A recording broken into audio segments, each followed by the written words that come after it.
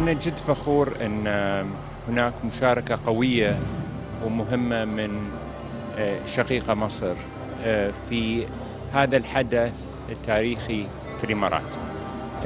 ليس فقط وجوده كحدث إكسبو ولكن أن يكون خلال اليوبل الذهبي للإمارات معناه كبير بالنسبة لنا والمشاركة المصرية الكبيرة اليوم مش غريبة.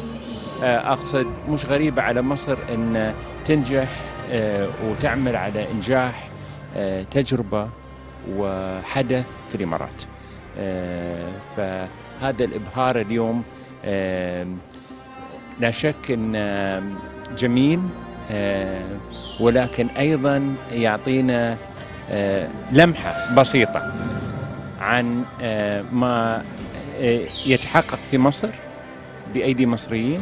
مصر بتاريخها وشعبها ونبلها وحضارتها وتنوعها ليس فقط التاريخ الفرعوني ولكن التاريخ الفرعوني الإسلامي القبطي. هذا التنوع صعب إنه يتحقق في في دولة ثانية في العالم. فأنا أعتقد إن هذا الإبهار اليوم هو محفز كبير لزيارة مصر والتعرف على مصر والعمل مع مصر.